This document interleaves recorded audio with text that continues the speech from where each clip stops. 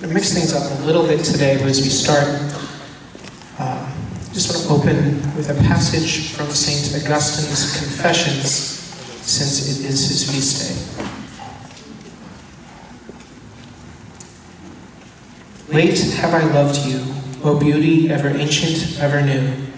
Late have I loved you. You were within me, but I was outside, and it was there that I searched for you. In my unloveliness, I plunged into the lovely things which you created.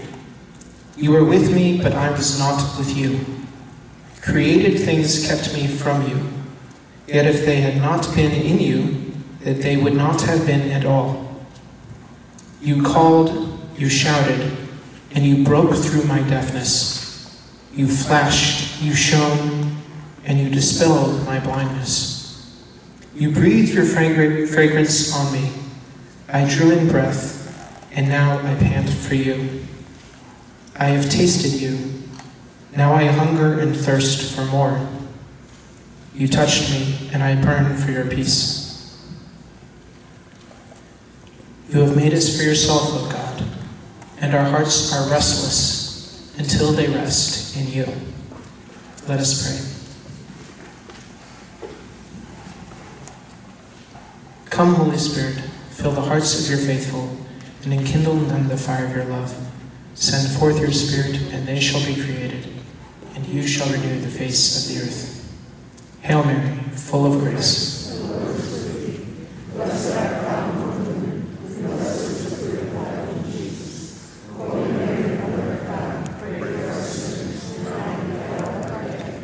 In the name of the Father, and of the Son, and of the Holy Spirit. All right, so we are going to pick up exactly where we left off last week. Again, last week we started out, we were talking about the Eucharist, and we hit as many of the passages as we could fit in one hour, Old and New Testament, that referred in one way or another to the Eucharist. This week we are starting out with um, just one passage. Uh, it's the whole chapter, John chapter 6. All right, there is a lot there. There's a lot there. And we're going to try and hit as much as we can in the first half hour or so. Um, kind of a little personal note this chapter is hugely and personally important to me on a very personal level. Um, if it was not for this chapter, I might not be Catholic. Forget priesthood. This one chapter is a major reason why I became Catholic. People ask all the time, oh, why did you, and they find out I'm a convert, oh, why did you become Roman Catholic? So, well, the one word answer is Eucharist. The one sentence answer is the Bible made me do it. Mostly this chapter. Although all the ones we were talking about last week read in light of this and read in light of what the church teaches about the sacrament of the Eucharist made it that much easier. So diving right into John chapter 6. I hope you guys read it, because we don't have time to read it here. It's size 10 font, single spacing, two pages. So we're not going to do that. We, like I said, we just don't have time. If you look at your handouts, you will notice that I've basically broken the chapter into three major sections. Okay? I didn't pick out any individual verses because the whole thing is important. All right, but so there's three main sections. We have the beginning of the chapter through about verse 21. Then you have the beginning of the Bread of Life discourse in verse 22, going up through about verse 50. And if you look in your Bibles, you'll notice that that's not where they usually end the section, but that's where the language that Jesus is using changes. So we're going to mark the separation at about verse 50. And then 51, and it says there 51 to 53, that's a typo. 51 to, I think it's 71, but whatever verse is the end of the chapter, I'm pretty sure it's 71. So, those are the three sections.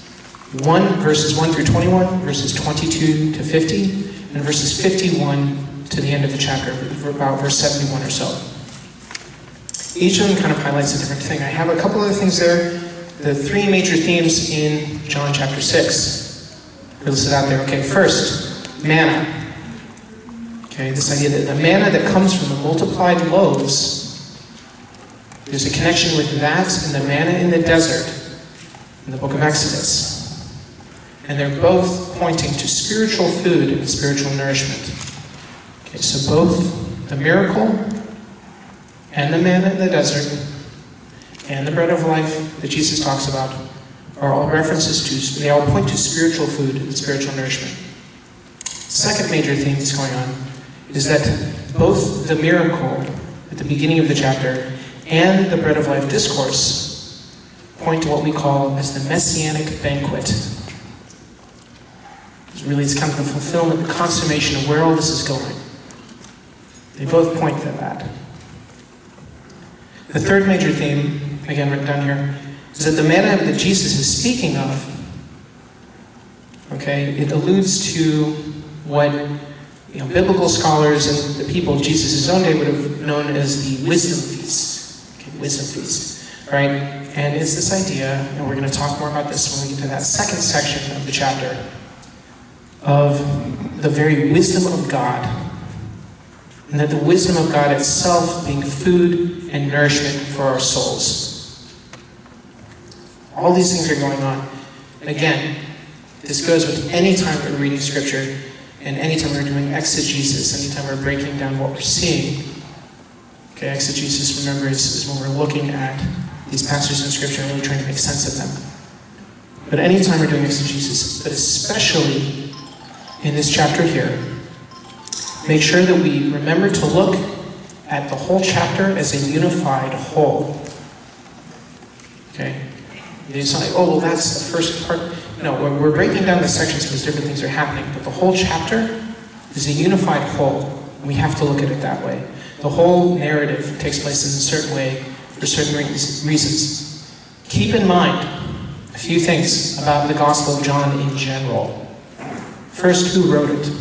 Okay, it was the Apostle John. Saint John the Evangelist. The Apostle John, this is the same apostle who rested his head on Jesus' chest at the Last Supper. It's the same John who was the only one of the twelve who made it all the way to the foot of the cross on Good Friday. It's the same John who was up on the Mount of Transfiguration. You could make a very compelling. It's the same John who Jesus entrusted his own mother to as he was dying. You could make a very compelling argument that John was Jesus' very best and closest friend during his life. That's who's writing this. That's the first thing to keep in mind. One of Jesus' best friends, if not his very best friend during his human life. He's the author. The second thing we have to remember he's writing this after the other Gospels have been written. So by the time John writes his Gospel, it's probably 80 or 90 AD, probably close to 90 AD, or thereabouts. The other Gospels have been written, at least the ones that we still have. So Matthew, Mark, and Luke, which we call the Synoptic Gospels, have already been written down. So John, and we talked a little bit about this, he comes along later on. He's looked, so he already has the other Gospels. Excuse me, the coffee didn't go down the right way. All right, so he already has these other written accounts. Of course, there's the oral transmission going on, but he has the other written accounts. So there are times when he's going to write things a little bit differently, and it's not because he saw a different thing. He's like, okay, you guys already have three versions of that story. Let me give you the extra stuff that you didn't have. Let me tell you the other stuff that we talked about. And so, for instance, in his Last Supper narrative, John, alone among the gospel authors, doesn't include the words of institution. The institution narrative, the ones, the, the words that the priest says every mass. This is my body. This is my blood. John alone, interestingly, doesn't mention that. Not because it didn't happen, but because by the time he's writing, it's like, you guys know that already. Have, in fact, there's three copies of it sitting over there. You guys have that. Let me tell you about the other stuff we talked about that night. Let me talk about when Jesus prayed for us. Let me talk about when Jesus talked about the vine and the branches. Let me tell you about when he washed our feet. So he includes the extra stuff and we're going to see that show up a little bit here too. All right? Again, I wrote this here, it's worth repeating. the bread of life discourse here in John chapter 6. Okay, so this whole homily that he gives in Capernaum, after the starting the second section, going through the third of this chapter, takes the place of the words of institution. That's the other reason he doesn't include that in the Last Supper. It's like you guys, I, we just finished talking about this a few chapters ago. I'm not going to repeat myself. But it takes the word, the place of the words of institution in the Last Supper narrative. It does not take the place of the Last Supper, obviously. He still talks about that. We have to remember that. Again, not because it didn't happen, He's like I want to give you guys the other details of the stories that you haven't heard yet, or the details that expand this story in new and exciting ways. And that, in fact, takes us to our first section here, verses 1 through 21. Right? And this is, if you will, it's a little bit of a background. It's the background of what's happening, setting the stage for all this. And right at the very, very beginning of all of this, in verse 4, John tells us that this was taking place at a very particular time in the Jewish liturgical calendar. What was it? It's near the time of the Passover. Hmm. Okay. Now, what does that mean? It means that at the time that this took place, Jesus was probably one year away from the Last Supper. Maybe two. We don't know if this is one year before or two years before, but this is earlier in his ministry. It could have been, in fact, almost to the day, a year before he was going to offer himself up, that this was taking place. But at any rate, it was happening around the same time. And that would have been a connection that the disciples and the early Christians would have immediately made. It's a connection that the Jews of his own time would have immediately made. That the Passover here one of the next times he talks about the Passover, he's going to be talking about them gathering in the upper room. So right away, that's, that's a big clue of what he's talking about. It's also, however, a reference to the Exodus, right? Remember the first time we hear about the, the, the first Passover in Egypt? And there's definitely allusions to that. There's these kind of, there's this looking ahead to the Last Supper and a looking back to, to the Exodus. And in fact, we're going to see that a little bit too, because both the miraculous feeding of the 5,000 and the part where Jesus walks across the Sea of Galilee, that kind of reminds us a little bit of Exodus too, right? Know, where the Israelites crossed the Red Sea to escape Egypt, and then they miraculously are fed when they aren't near any cities and there is no food. And God miraculously feeds them with bread, right? And so it reminds us also of Exodus. And so we're thinking already of Exodus between all of these things. And so Jesus is what he's the one who's going to lead us in the new Exodus. The Exodus from sin. The Exodus from enslavement to sin and death and hell. So it's reminding us of that. Finally, I mentioned it there. This is the only miracle, as far as I know, I might have to double check that, but I'm, the last I checked, I'm pretty sure that the feeding of the 5,000 is the only miracle that shows up in all four Gospels. Anyone think that's just a coincidence? Okay, I don't either. Because John didn't do coincidence. John was very, very smart. If he put something in here, it's very intentional. John, you might say what you want about some of the other writers. John was very, very bright. He knew the heart of Jesus very well. He knew the heart of Mary very well. If he wrote something in here, he meant it. It wasn't an accident. So he includes this miracle. It's the only miracle that shows up in all four Gospels. And John wants us to know that this miracle happened around the time of the Passover. That's a very important detail for him. That's why he says, don't forget, this happened near the time of the Passover. So all that takes us, all that takes us to the second part. So now he's crossed, said the Red Sea. He's crossed the Sea of Galilee. He walked across the Sea of Galilee, Jesus says, and he's now in Capernaum, and he's teaching in the synagogue. So he's preaching in the synagogue at Capernaum. And he starts out with this beautiful uh, homily that we now call the Bread of Life Discourse. Now,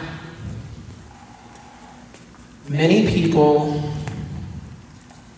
well, some theologians anyway, and, and many others have wanted to argue that all of this stuff that Jesus is saying is just very spiritual. Oh, he's, he's using spiritual language. It's a metaphor, it's a symbol, it's spiritual. Okay, look. It's like this. You could say that about the second section and the second section only. You can get away with saying that about verses 21 to 50. It's not a, or 22 to 50. You don't have a very good argument, but you could make an argument. You do, however, run into a few problems, and I've written a few of them down here, but some of those problems, see, the big one is verse 23. So we don't have to get very far in the second section, verses 22 to 50. Second verse in that, verse 23, there's a word pops up, and I think the wording in the English translation then some boats from Tiberias came near the place where they had eaten bread after the Lord had given thanks. And the Greek verb used there, or the word used for where the Lord had given thanks, this might sound familiar, Eucharistos. Eucharist. Oh, okay. So, where the Lord had made Eucharist, made Thanksgiving. So that's already a little bit of a problem if you want to say that none of this is Eucharistic at all. If none of it is Eucharistic, it begs the question why did John use that particular word when he could have used another one? So that's your first little kind of problem with that. The other thing is that already this idea of breaking bread, by the time John's writing this at the end of the first century, the term breaking bread already also had very strong Eucharistic overtones that the early Christians who would have been reading this would have picked up on and said, oh, that's a reference to the Eucharist. We're supposed to be thinking about the Eucharist right now because he's talking about bread and breaking bread. So even that is kind of a reminder of that. I said, if you look at verse 27 as well, all right, we'll read that real quickly. Do not work for the food that perishes, but for the food that endures for eternal life which the Son of Man will give you. For it is on him that God the Father has set his seal. Okay. Now, I said that that verse and the verses around it pick up on a theme that really you see expanded a little bit in the parts of the Old Testament, specifically Deuteronomy chapter 8, verses 2 through 3, and in the book of Wisdom, chapter 16, specifically verses 24, but I'll read a little bit around it too. First, Deuteronomy chapter 8, 1 through 3. This entire commandment that I command you today, you must diligently observe, so that you may live and increase, and go in and occupy the land that the Lord promised an oath to your ancestors. Remember the long way that the Lord your God has led you these forty years in the wilderness, in order to humble you, testing you to know what was in your heart whether or not you would keep his commandments. He humbled you by letting you hunger, then by feeding you with manna, with which neither you nor your ancestors were acquainted, in order to make you understand that one does not live by bread alone, but by every word that comes from the mouth of the Lord. Wisdom chapter 16, starting with verse 20, starting with verse 24 through verse 29. For creation, serving you who made it, exerts itself to punish the unrighteous, and in kindness relaxes on behalf of those who trust in you. Therefore, at that time also, changed into all forms, it served your all-nourishing bounty, according to the desire of those who had need. so that your children, whom you loved, O Lord, might learn that it is not the production of crops that feeds humankind, but that your word sustains those who trust in you. For what was not destroyed by fire was melted when simply warmed by a fleeting ray of the sun, to make it known that one must rise before the sun to give you thanks, and must pray to you at the dawning of the light.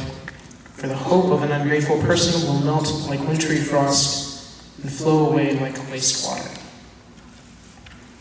All right, the big one there was your word sustains those who trust in you. Okay, so again, there was, even in the first century, this kind of sense of the wisdom of God being food that you could eat and would nourish your soul. This is something that the Jews would have kind of been a little familiar. They would have been familiar with this. And so some people have said, oh, well, you know, like maybe it's talking about that. Okay, maybe it is. Here's the problem.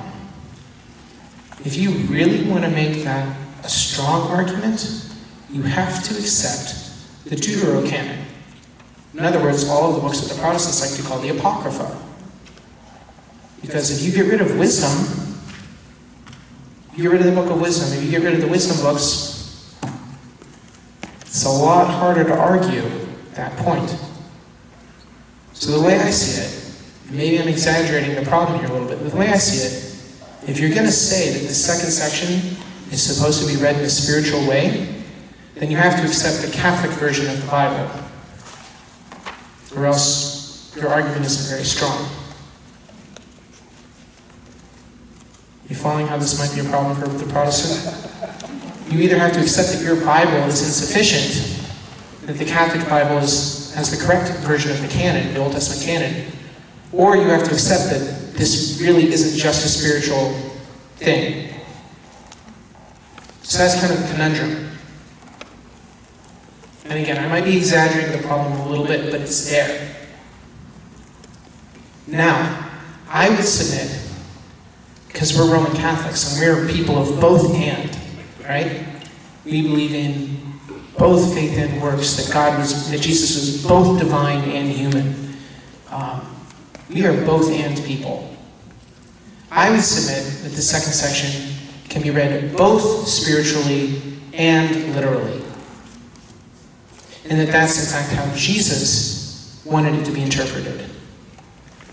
My argument for that is in the next section. So, that final section then John 6, verses 51 through 71. I think it's 71.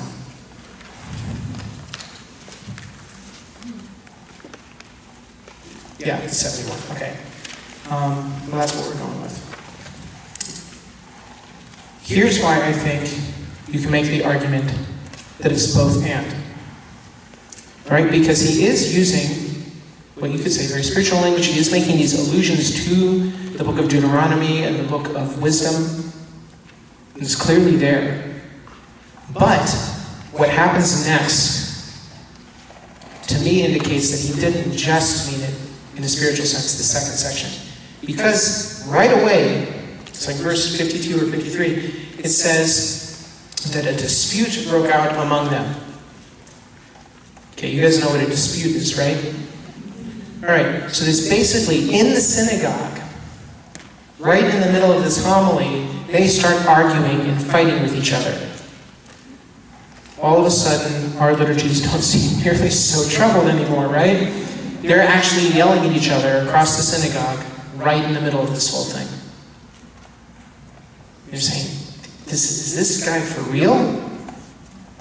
He can't possibly mean this, right? Does he really want us to eat his flesh and drink his blood?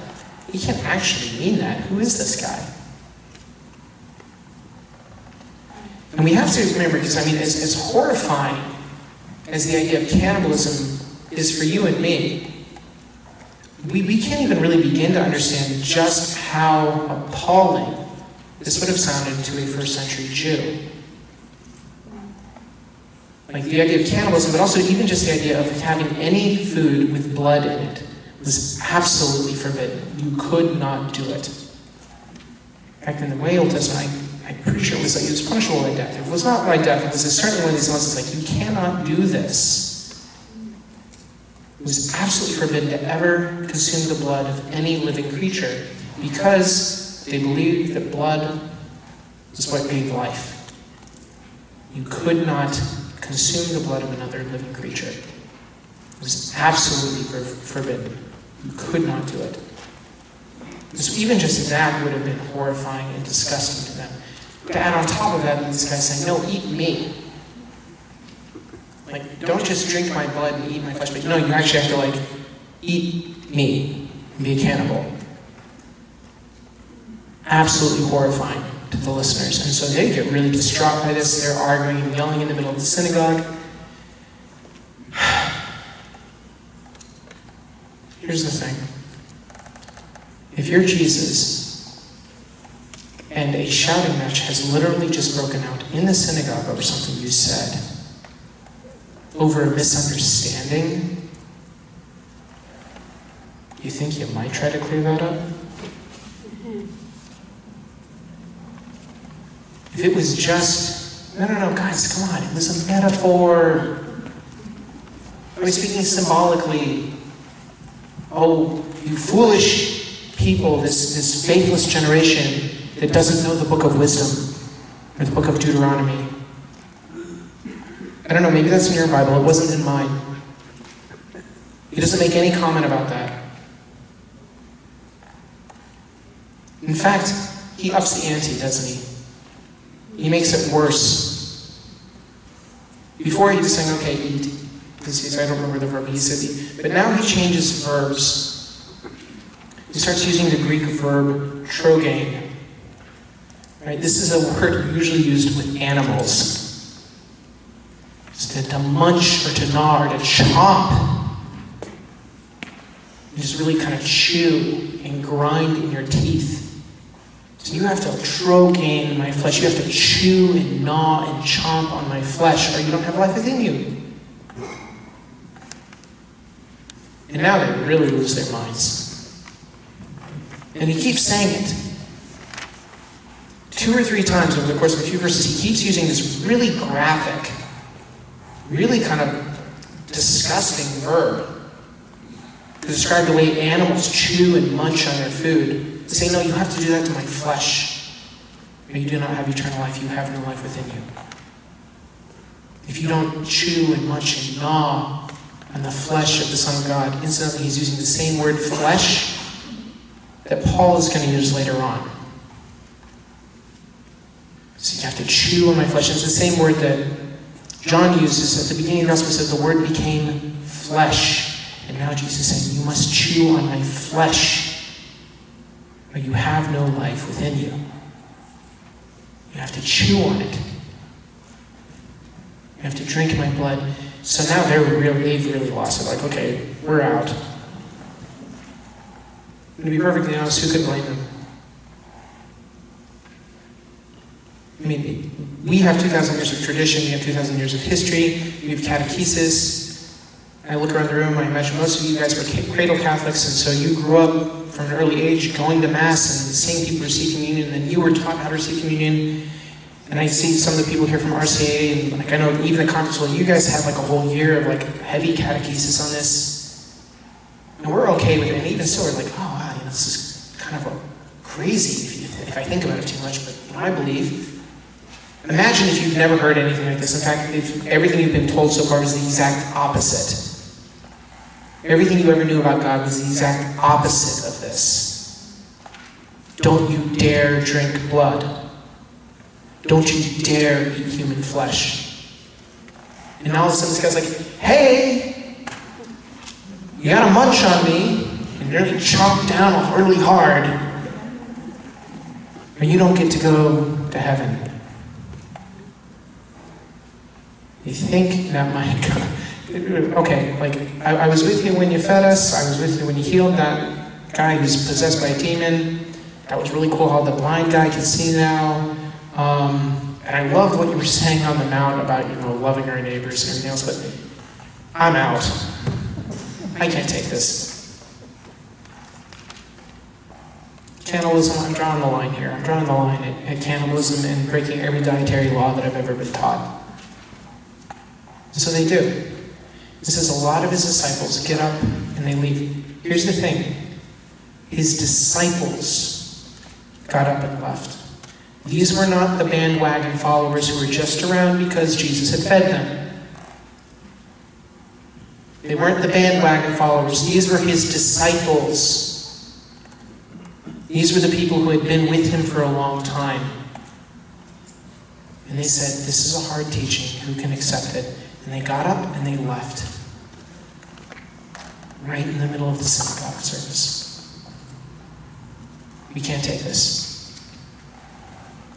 If ever there was a time for Jesus to call, because remember, his disciples are the, one, the crowds who would just kind of show up for the miracles and the shows. He didn't necessarily explain stuff to them. He explained stuff to his disciples. He explained it to them.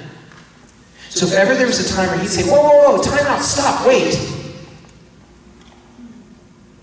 It was only supposed to be interpreted spiritually or as an allegory. If ever there was a time that Jesus should have done that, it was right here.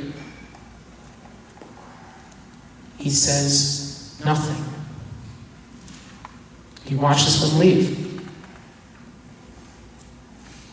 In fact, then it says he turns to the twelve. You can almost kind of hear the sadness in his voice here. He says, Are you going to leave me too? And God bless Peter. Oh man, I love Simon Peter to death. Peter answers for all of us, doesn't he? He says, Lord, to whom else shall we go? You have the words of eternal life. Peter doesn't understand yet. I think he's finally going to understand a year later when he's in the upper room.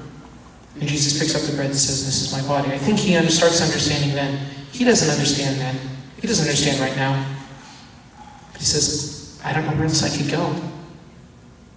You have the words of eternal life. You have come to believe and to know that you are the Christ, the Son of God. You're it. So if you say that I need to chomp on your flesh like an animal and drink your blood, I hope you expand on that later and explain what you mean, because that sounds a little sick and gross and disgusting, and I'm kind of freaked out right now. But you have the words of eternal life, so I'll stick with you that far. So Peter answers for all the disciples who are left and for us. To whom else are we, where else are we supposed to go? This is it. Again, remember I said that everything that John puts in here, he puts in for a very intentional, specific reason, right? And I meant to, to double check this. I'm fairly certain this is the first time, at least in John's gospel, where we hear that Judas is the one who's going to betray Jesus. Let me say that again. This is the first time in the Gospel of John, immediately on the heels of many of Jesus' followers, his followers leaving him. And this is the first time we hear about Judas' betrayal.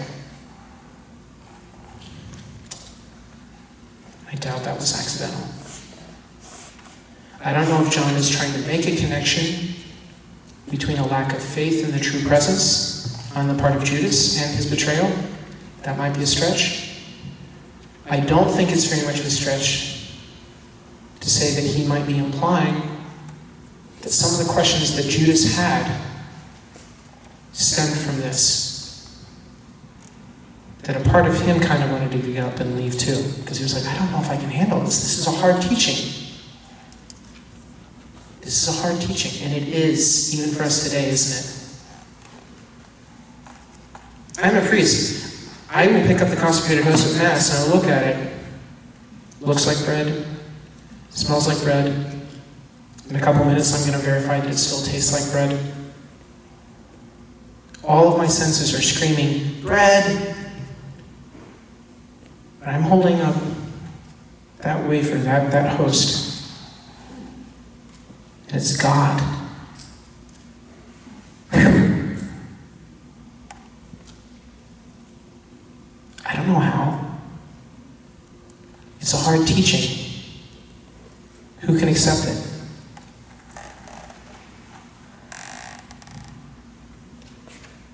Exactly what the earliest disciples who left asked. It's hard teaching, who can accept it? And Peter, God bless him, gives us the answer. Here's the final nail in the coffin. And again, this is why I think that we can say that the second, again, the first, the first section gives us the context and sets the stage. The second section gives us two different ways of interpreting that portion, where we can say there is the spiritual explanation going on, and there's also this literal explanation. And then in the third part, the spiritual explanation kind of goes away. People who want to make that just a spiritual say, well, Jesus just spent the last 25 or 30 verses where you could debate that he was speaking spiritually. Why would he keep doing that here with these much grosser and earthier verbs? So the third section, now he's done away with the spiritual talk. It seems to be this really gritty, earthy, you know, use of this, these terms, really emphasizing the chewing the gnawing, the consuming. Really making it very incarnational, if you will.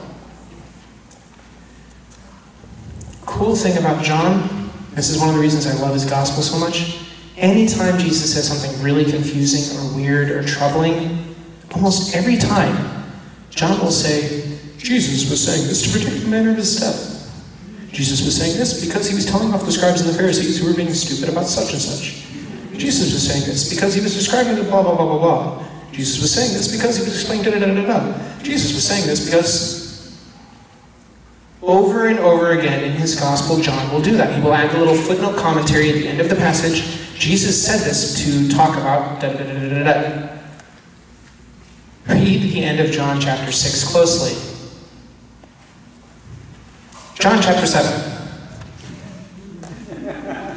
Wait, wait, wait, John, you forgot the part where you were saying Jesus was saying this to describe the, you know, the spiritual metaphor of something or other. John is saying, no, I don't need to add anything. Jesus said it all. I'm going to let his words stand as they are.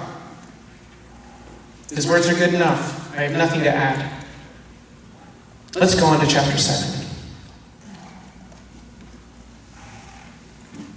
And that really is it right there, right? Why? It's like, that for me, and I, I remember looking over this, and when that clicked in my brain, when I was still a Protestant, I was like, oh my goodness. John, hook a brother up, man. Like, you, you left out the part at the end where you explain what this is all about. Then I realized that's because he doesn't need to. You don't need it. Jesus already said everything that needs to be said here. There's nothing more to add. And that was what Peter said, wasn't it? It's like, you have the words of eternal life, Lord. To whom else shall we go? So as we close with this part on the Eucharist, right, to keep that in mind, the terrible and awesome beauty of this sacrament that we do not deserve. Okay, we absolutely do not deserve it. We don't deserve to receive it. I certainly do not deserve to pick up a piece of bread and say, This is my body, and poof. Now it's not bread anymore. Who am I? Who's Father Mel or Father Laura or Bishop John? Who are any of us to be audacious enough to say a few words and then hold up something that looks like a piece of bread and say, hold it up to all of you and say, you guys better be worshiping this right now. Because God is in your presence. He's in our presence. How audacious. But it's true. It's why we say that the Eucharist is the source and the summit of the Christian life. Brothers and sisters, if we forget everything else that we are ever taught, please let us never forget who is really present to us in the Blessed Sacrament of the Eucharist and what that shows us about the great love and humility of our Savior Jesus Christ. Because at the end of the day, nothing else matters, really. And again, I say, well, why did you become Catholic? They, they say, David, why did you become Catholic? Usually people ask me, I'm Catholic, so they're not calling me father. David, why did you become Catholic? It was the Eucharist. Because I was given the eyes of faith, the scales fell off my eyes. I heard the words of Jesus preached at Capernaum in John chapter 6. I saw them in light of everything we talked about last week, all these other passages throughout, from Genesis all the way to Revelation. And I thought, oh man, oh no. I think they're right. I think the Catholics are right about this. I think that really is him. And I didn't need a pope or an encyclical or a council or a catechism or anyone to tell me to go to Mass once I figured that out. I was a, I was a Protestant. I knew not to go up to communion, but I was a Protestant. I was like, if that's really Jesus, that's where I need to be on Sunday morning. That's where I want to be on Sunday morning. Because I get to be in the physical presence. I get to stand and kneel in the presence of the King of Kings and the Lord of Lords. To tell him, speak to him with my own mouth as he is in the room with me, physically. To tell him that I love him. To tell him that I'm sorry for my sins to thank Him for being present with me. I didn't need anyone to tell me to go to Mass on Sunday. I'd been going very faithfully for about five or six months before I even told the priest I wanted to become Catholic. It's like, if that's Him, if that's really Jesus, everything else is gravy. Nothing else matters. It means the Catholics got the single most important thing right. They could have gotten the answer, and I remember thinking like, even if they're wrong about everything else, I didn't think I didn't think the church was. So even if the church is wrong about everything else, it doesn't matter because they got the single most important thing right. And Jesus is inside their buildings on Sunday mornings. I didn't know the concept of daily mass at the time. or Blessed Sacrament chapels or anything else like that. All I knew about was Sunday Mass and the Saturday Vigil. So I was like, He's there. And if that's Him, nothing else matters. And that's where I want to be. Well, make a kind of long story short, next thing I knew, I was getting ordained after this years in seminary. so, be careful with this teaching. It is a hard one to accept, but it's worth everything. Moving on with our last few minutes here, um, we'll try and hit confirmation quickly. Now, before we get to the uh, passages that you have there, I do want to talk a little bit of catechesis about confirmation. We'll, we'll do a little bit of this with the next two sacraments as well. Um, actually, the remaining sacraments, because um, most of us, I think, have a pretty good idea catechetically about what's going on in baptism and Eucharist. I think we get a little confused with some of the other stuff, and it's not anyone's fault. Um, so, for instance, confirmation, and when, to be honest, I was a confirmation teacher, I used to teach it this way. I was like, oh, well, you know, this is like you getting to decide that you're going to follow Christ on your own. That's a problem. That's, that's not true. Well, not completely.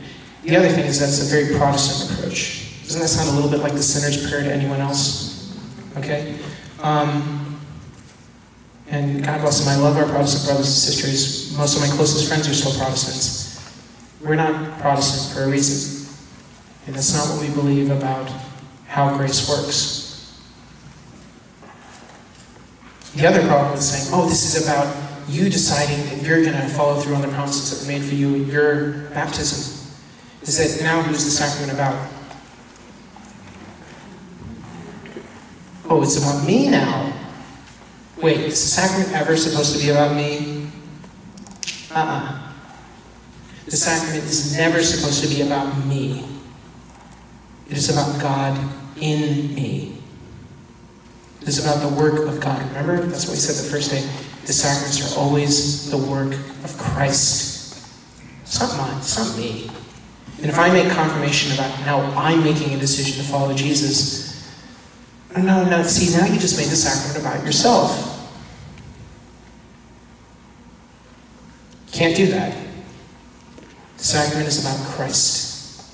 It's about the work of Christ in your heart. Oh, but I get to choose. Here's the thing you've been baptized, you've already done been chosen. You've already chosen. Okay, God picked you for His team. Okay, remember like on, on the like the the blacktop as a kid, and you're picking teams, and you say, okay, team captains. I picked David. They, they never did this right. I was never the first one. Except dodgeball. I was really good at dodgeball. Kiss dodgeball. I was like, all right, well, I picked David. Yes. Guess what I didn't get to do? I didn't say, well, I picked you back. Team Kevin like, I don't care. You're on my team. Get over here. We've been baptized. We've already been chosen. Right? Confirmation confirms that choice. It strengthens that choice. It reminds us of how we were chosen. And all the gifts that we received at baptism, all the grace that we received at baptism, those gifts of the Holy Spirit, guess what? You got them at baptism. Those gifts are now brought to full maturation. They are allowed to blossom. They are allowed to become what they were always supposed to be. It is God saying, Remember when I chose you when you were a kid? Uh uh I was an infant. That's right, I know. I'm choosing you again. Confirmation is where God reaffirms that He chose us. It's where He looks at us in the eye and He says, I chose you before, and I'm choosing you again, and I will choose you for all eternity. You are mine. You are my son. You are my daughter. That's what's happening at confirmation. We don't choose God at confirmation. God chooses us again. He reminds us that we're, we, we're His. It's good for us to keep that in mind. Like I said, I used to get that backwards too. I think as a church, we don't do a very good job of communicating that. We get kind of mixed up, and especially here in the West in the United States, we want to be all about freedom and choice and all this other stuff. Okay, that's a there's a place for that. Confirmation isn't it. Confirmation, God reaffirms His choice of us. And I will quit beating that dead horse. But I hope we can, I hope remember that. Another thing, I think this is maybe a better analogy to keep in mind when we're talking about confirmation, is not so much the, oh, now we get to choose thing, Banish that motif as much as you can. Now, what said, is like think about the little child. Okay, when that child is born, when it's conceived, he already has inside of him or her a whole set of natural gifts and abilities. Okay. Think of Mozart. From the womb, had the potential to be a musical prodigy. Think of an athlete. That's a good example. Hmm? Oh, Usain Bolt. Okay, we'll use Usain Bolt here. Usain Bolt, when he was conceived, had in his genes the potential to be the fastest man who ever ran 100 meters. Here's the thing well, actually, maybe Usain Bolt isn't such a great example because he's kind of, he didn't, well, he did work hard, he did train very hard, but let's use someone else, okay, like a Katie Ledecky, okay? We'll, we'll pick Katie Ledecky here because I'm a little bit more familiar with her story. Also because she's a workaholic, she trains really hard.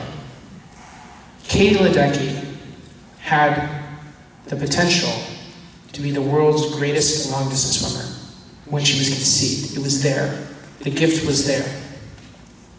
If she had never developed it, if she had never trained, even if she jumps in the pool, she still would have dominated at every level that she was at, junior high, high school, whatever. She probably would have made it to the Olympics, though. She could have gotten by just on pure talent, just gotten and dominated at high school level, and never would have made the Olympics. never would have been the greatest, one of the greatest distance swimmers, if not the greatest distance swimmer that most of us have ever seen in our lifetimes. She worked at it. Take Mozart, or maybe a more contemporary version, Adele. Musical talent's there. The mind to be able to come up with songs, there. If she decides that she isn't interested in that and decides to go practice photography 40 hours a week instead of music, she have still probably been, I don't know, one of the best singers in her high school choir? Probably. She become the incredible singer that she is today? Famous, world famous? Probably not. Okay? You think about something similar going on with the gifts that we receive at our baptism. They're all there. And we know, and Thomas Aquinas on say grace builds upon nature. So the gifts that are unique to you